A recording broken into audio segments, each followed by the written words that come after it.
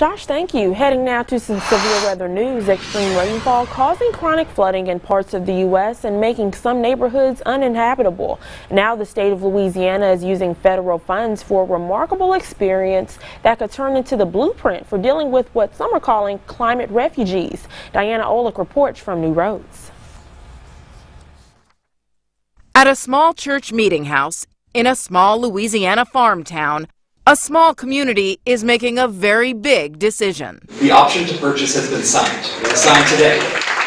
The community, up to 40 homes, is moving together to higher ground. The state of Louisiana is using federal funds to purchase land, build new homes, demolish the old flood damaged homes, and turn this neighborhood into wetlands. So you're going to knock down all of these houses and these as well? Right. Pat Forbes, who administers community development block grants for disaster relief, is in charge. It's quite clear that we're having more disasters, and consequently, we have to start doing things that are smarter. One of the easiest, smartest things you can do is get people out of harm's way. Pecan Acres was built in the 1970s near a canal, but in the last decade it has seen more frequent and intense flooding. Its levee is no longer adequate.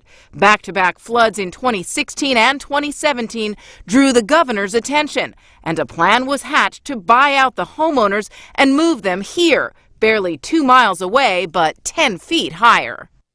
Colonel Jackson was eager to hear the details. She raised her children and now her granddaughter in the home that recently flooded beyond her financial ability to repair. So the water came up to about here and then you had yeah. to take that drywall yeah, off. Yeah. yeah. You're losing everything. You don't have time to pick up anything and it just, you know, you got to go back and just start all over again. I mean, it's just, it's just miserable. The program will buy out each homeowner, but since these damaged homes have so little value now, homeowners will also get forgivable loans, up to $200,000 to buy into the new community. For each year they live in their new home, they get one-fifth of the loan forgiven. In five years, the home is theirs, debt-free. The cost, roughly $8 million. In the past, the federal government has given flooded homeowners money to simply relocate. But this is one of the first plans to move an entire community en masse here to higher ground. And it could be a model for the future.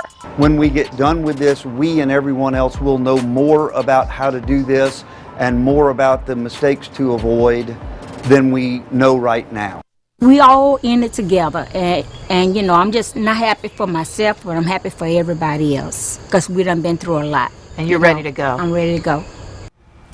Now, we're told that by turning the neighborhood into wetlands, experts say will actually protect nearby neighborhoods from flooding by acting as a sponge for all of the water.